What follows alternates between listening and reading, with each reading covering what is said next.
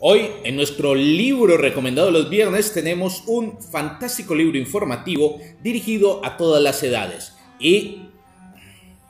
Sebastián, el libro... Sebastián, el libro... no es tan pesado. Hoy estás tímido, ¿no?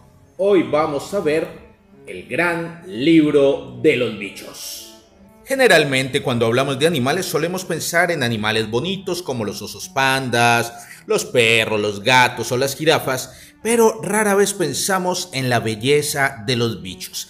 Es aquí donde este libro cobra su importancia, porque estamos rodeados de miles y miles y miles y miles de bichos por todo lado y son importantísimos para la vida tal y como la conocemos y no son lo suficientemente valorados. El gran libro de los bichos no solamente nos habla de los bichos en particular, de algunos de ellos, sino que también nos da eh, pie a hablar de la importancia en el ecosistema, de los lugares de donde viven y cuál es su verdadera relevancia en todo el ecosistema.